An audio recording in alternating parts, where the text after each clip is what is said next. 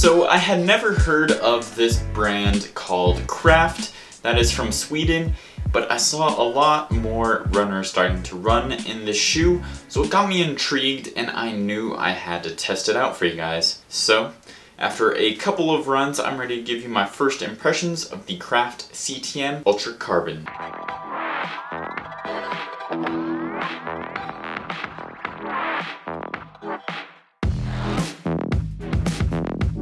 Starting with the specs, this shoe has 40 millimeters in the heel, 30 in the forefoot with a 10 millimeter heel to toe drop. It comes in at 280 grams for a men's size 8.5, and I put this in the carbon plated racer category.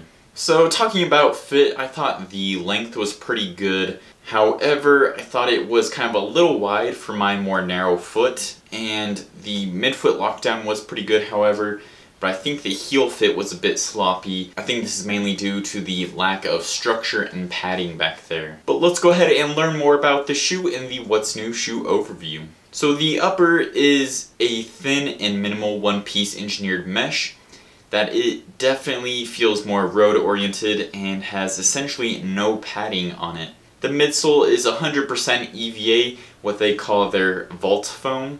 It has a full-length forked carbon fiber plate and it does have a sock liner made with TPU pellets similar to what Boost is from Adidas. The outsole has aggressive Ultra Track rubber lugs with a good amount of coverage. So now let's talk about the ride of this shoe.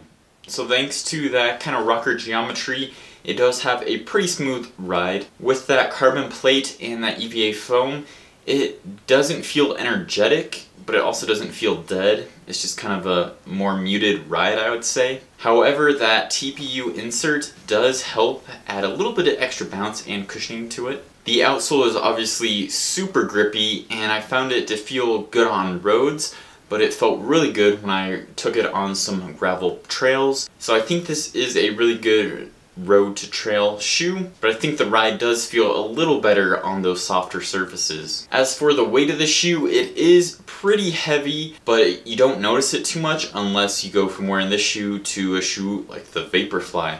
Alright, now let's go ahead and do a couple quick comparisons to the Craft Ultra Carbon. The first shoe I'm going to compare it to is the Nike Vaporfly Next Percent 2 and specifically my custom Flyknit pair. So both these shoes have pretty minimal uppers, they have thick stack heights, carbon plates, and some more aggressive outsoles to them. However, the outsole materials are definitely quite noticeably different with the kind of firmer regular EVA here and the PEBA based ZoomX foam on the Vaporfly. This midsole material is going to be a lot lighter, a lot livelier, more bouncy, and you get that extra pop off the toe. So if I was choosing one of these two for a race that was maybe on some dirt roads and I needed some extra grip, I would definitely choose the Vaporfly Next Percent because it has that super light, bouncy, fast feeling foam and with that more aggressive outsole on this particular version,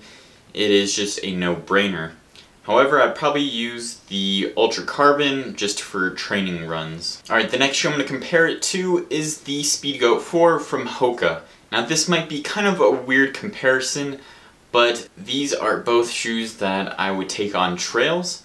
However, with the Speedgoat 4, I feel super comfortable barreling down some more technical single track thanks to that super aggressive outsole and all that cushioning and stable platform on here. However, with the Ultra Carbon, I would be kind of more hesitant and kind of pick my lines and tiptoe around some rocks as opposed to just kind of having the tank of the Speedgoat 4. Both the midsoles of these shoes use EVA, but I found that the Speedgoat 4 was a lot more cushioned feeling and more soft. If I had to choose between these two shoes to do trail running, I would definitely choose the Speedgoat 4, especially if I'm doing technical trails where there's lots of rocks because this does have that toe guard and a more protective upper, while this has a super thin and flimsy upper that if you hit your toe on a rock, you're going to get bruising, you could break your toe, and it's definitely more suited for some groomed trails or primarily like gravel trails. So to me, the CTM Ultra Carbon is kind of like a gravel bike.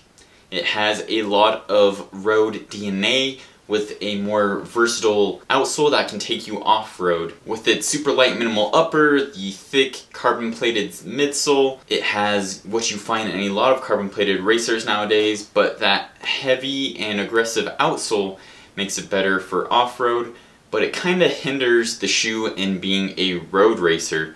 So it's kind of a niche shoe in my opinion, where it may not be the best road racer, but it may not also be the best choice for trails. So I'm really going to have to test this shoe out in a bunch of different terrains and I'll report back to you on kind of where the shoe fits. So that's it for my first impressions of this shoe. Have you tried it out? Let me know in the comments down below how you use this shoe. Thanks for watching. Subscribe so you don't miss any of my new videos. And as always, keep on running.